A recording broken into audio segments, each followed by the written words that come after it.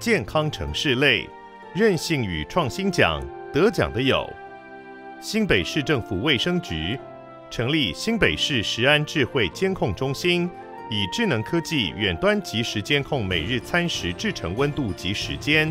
邀集产官学研携手合作，共同打造安心好实在的健康新北城。彰化县消防局率全国之先，在救护车上配置十二导程心电图机，跨单位与县内六家急救责任医院合作组成护心联盟。克服机器判读准确性的问题。云林县政府借由数位转型与绿色转型双重转型，带动农业升级，运用智慧科技技术与近零排放概念，建构具地方特色的智慧农业。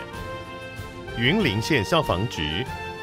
透过院前守护者、院前六星共照与医消联防等策略，让线上线下资源得以合作。孕育虚实整合的救援联盟。